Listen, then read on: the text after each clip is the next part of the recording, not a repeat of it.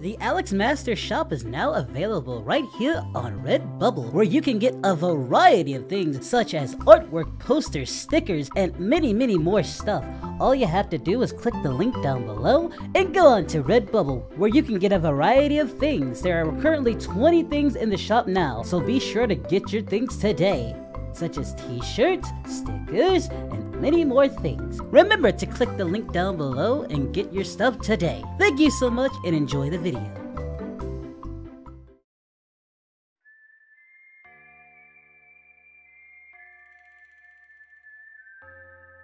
Our story begins in the Wild West in the desert outside of Haystown. A young Hispanic cowboy sharpshooter named Jose Roughedge is out in the desert by himself at his brother's farm practicing his marksmanship skills for the upcoming competition to be next sheriff of Haystown. Roughedge fires his gun with both speed and accuracy at several cactuses, causing them to leak out the juice into the buckets that were placed where the shots were fired at collecting the cactus juice. Rough Edge then walks towards one of the buckets and takes a small drink out of it and gives a thumbs up. Still got it, said Roughedge after drinking the small slip. Just then, Rough Edge's twin brother Antonio shows up from the farm with some roasted ribs for his brother and him to eat. Oi, hermano! I made some dinner for the both of us. Can't improve on your aim on an empty stomach said Antonio. Rough Edge responded. Oh, thanks.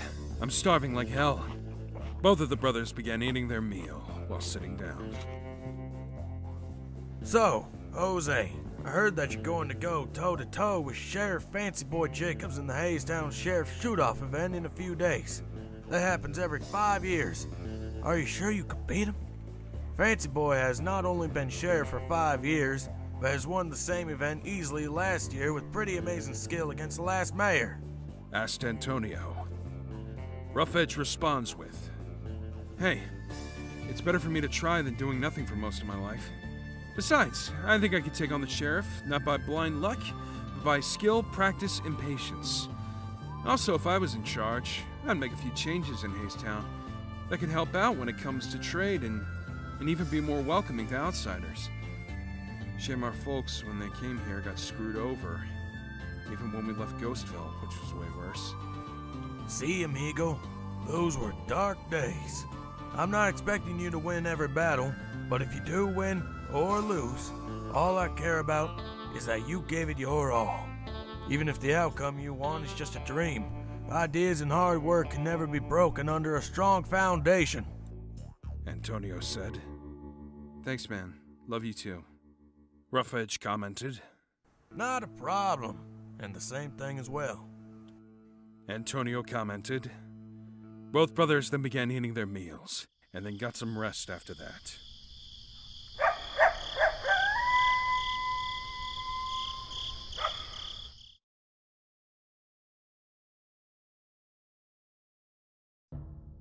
Five days have passed in Haystown at the dawn of the morning. A sharply dressed young Caucasian man with dark blonde hair, who happens to be Jacob's fancy boy, is standing outside in the streets with his men setting up for the big event and tweaking his pistol in private. Are you guys done already? The show is about to start and I can't wait another five years of greatness from me. Jacob said while waiting impatiently. Just in, Jacob's butler Timsworth, an older dark skinned gentleman in his late 50s, shows up with Jacob's gun. Here you go, sir. I have your special pistol all tweaked, loaded, and cleaned up. Said Timsworth while handing Jacobs his gun. Excellent.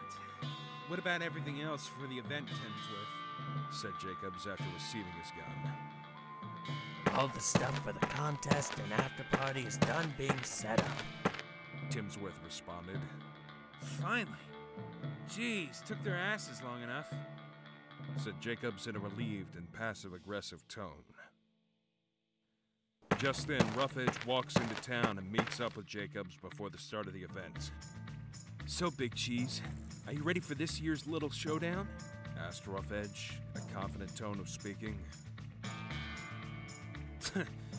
I didn't know your kind would be participating, Jacob smugly remarks. Roughedge comments. Well, I saw an opening and I took it, so why not? Roughedge said. I take you on and beat your ass easily, kid. You won't stand a chance.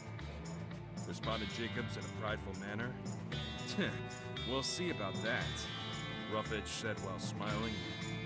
And so, both Roughedge and Jacobs began the competition with the shoot the most moving targets part of the contest.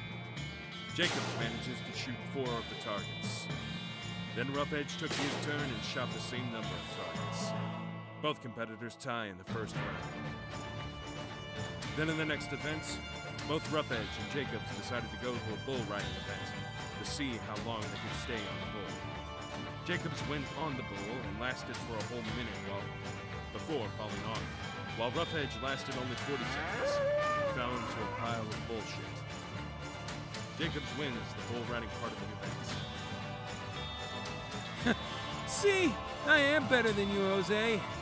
Just give up and go back to your farm. I'm the best. Jacobs boasted. Not quite. We still got more events to go through. I'm about to give you my A game. Rough Edge replied. The third match of the contest starts with a horse race within the town. Both contestants rode their horses at breakneck speed through the town to reach the finish. Roughedge, by a hair, manages to beat Jacobs in the race. See? I told you I'm being serious about winning as much as you! Roughedge said after winning the horse race. Ah, shut up! This isn't over yet. Besides, we're gonna be starting the final event soon, and I'll run this town for five more years, and it will be an easy victory. Jacobs ranted. The final event with a gun duel between the two men begins with both of them standing still, looking at each other tensely. Draw! Both men exclaimed as they both pulled out their guns at the same time. However, just before Jacobs took out his gun to fire, it was then shot out of his hand by Roughedge in a quick manner. No way! Jacobs screamed. you sure as hell talked a big talk, but guess that was for show. Rough Edge says while putting his gun back into his holder. Just then, the crowd of people watching the event cheered as they saw the final results of the contest, with Rough Edge being declared the new sheriff of Haystown. As Jacob is in disbelief at the fact that he lost the contest, and his title as sheriff, despite having the slight edge against his rival. As he was watching the crowds cheer for their new sheriff. This is bullshit! Jacob screamed in anger. Ah, come on, bro. You were the cock of the walk for five years. No need to be sour about losing. Roughedge comments happily while being carried by the crowd, and then leaves with them. Don't talk to me! You just got lucky, you son of a bitch! yelled Jacobs. Jeez, no need to be a boner killer for losing to my brother. You were cool as well. Commented Antonio while putting his hand around Jacob's shoulder. Touch me again, and you'll be dead, you piece of shit! Yelled Jacob while throwing Antonio's hand off of him. Oh, okay, fine. Jeez, don't have to be a dick about it. Said Antonio. God damn it! Fuck fucking shit! Screamed Jacobs in pure rage. Forget it. I'm gonna get a drink at the bar, said Jacobs in a defeated tone while heading to the bar to drink his problems away.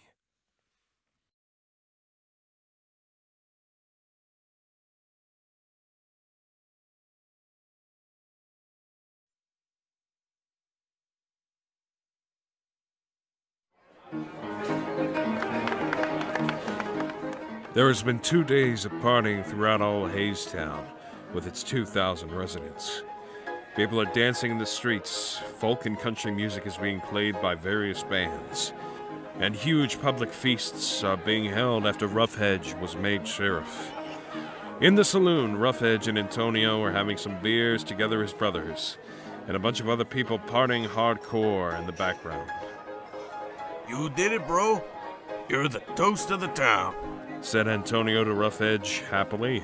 All I did was win against a snobby rich dude who lacked skill and relied on lucky and advanced tech. Well, I used skill and didn't rely on my weapon alone to win. Proudly explained by Roughedge to his brother. Then two attractive Southern Belle women show up to meet up with Roughedge. Hey, doll. Just want to say congrats on winning the title of sheriff for the next five years. Said one of the ladies. Oh my god, Sheriff. You and your brother are so handsome as hell. You don't mind if we get together for the rest of the night, hon? Sure thing, ladies. Me and my bro don't mind. Rough Edge said while blushing. I'll buy you two a few drinks on me, babes. Antonio said.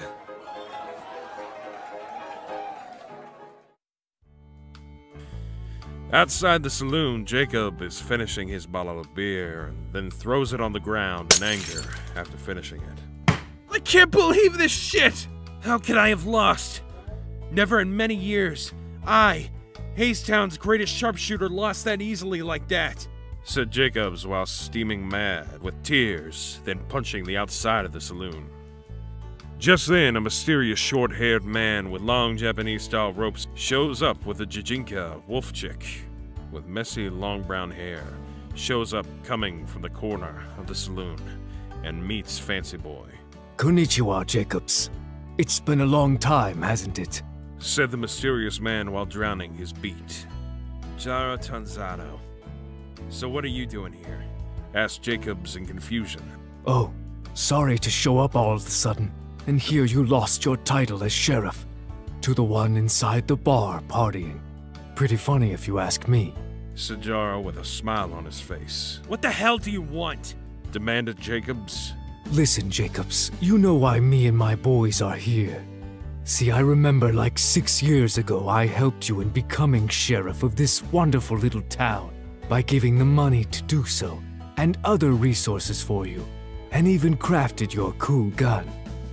So then I was wondering if you happened to have the money you owed me in return, or at least 25 to 50% of it, which would be fine as well.